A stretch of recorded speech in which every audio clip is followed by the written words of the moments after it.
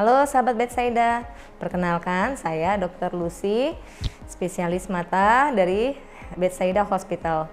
Di sesi kata dokter kali ini, saya akan menjawab pertanyaan-pertanyaan yang telah diajukan oleh sahabat Betsaida melalui kolom komentar.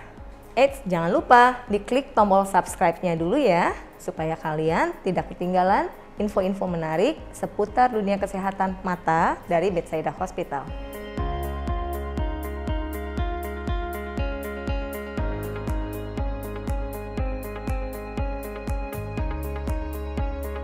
Uh, Mas Rashid ini umur berapa? Apakah ada riwayat alergi? Uh, kalau melihat dari keluhannya, mata gatal dan merah kalau dikucek, kemungkinan pertama adalah alergi. Nah, kalau memang pada mata alergi, pencetusnya dulu yang dihindari.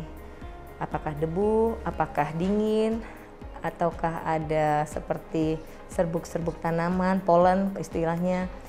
Uh, kalau memang itu sudah dihindari tetap gatel, saat gatal jangan dikucek tapi dikompres pakai air air es atau air dingin.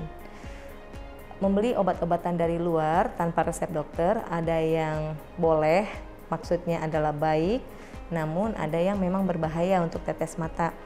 Hindari yang kandung yang uh, obat-obatan tetes uh, yang memiliki kandungan steroid seperti dexamethasone, metilprednisolon, prednisolon asetat, fluorometolon itu tidak boleh dipakai sembarangan. Mengapa? Karena terlalu banyak efek sampingnya. Kalau memang sangat mengganggu, setelah kompres air dingin, lalu menghindari pencetus, silakan datang ke poli biar kita periksa dan kita berikan obatnya dan akan ditreat secara berkala, tidak boleh putus. Oke, terima kasih. Nah, demikian tadi jawaban dari pertanyaan sahabat Bethsaida yang bisa saya jawab. Bila ada hal lain yang ingin ditanyakan, bisa ditulis di kolom komentar.